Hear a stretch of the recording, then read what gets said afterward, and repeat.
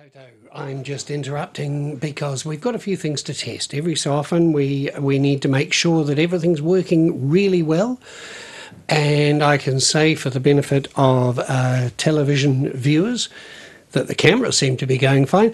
Marina's over on the other side. She's going to have a chat to make sure that that microphone, which was malfunctioning yesterday, is actually being fixed. So over to you, Marina. Kia ora, everyone. It seems like the camera's just it's working as well. The shot's not very good, but we can fix that.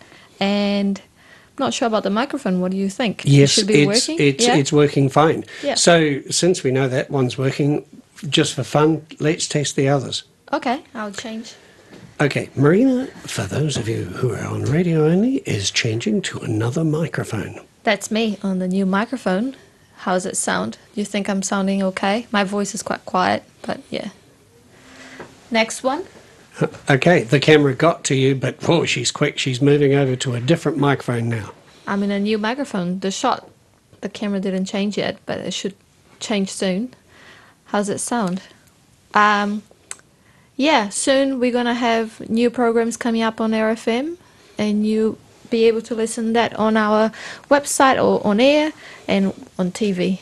Great. All right. Um, you'd love to hear some music, so we'll get back to that. This is just to let you know that we're relieved because things seem to be working. Some of the camera shots look a bit nyeh, uh, and we're going to fix that over the next little time. But by the time a scheduled program comes on, everything will be fantastic. Thank you.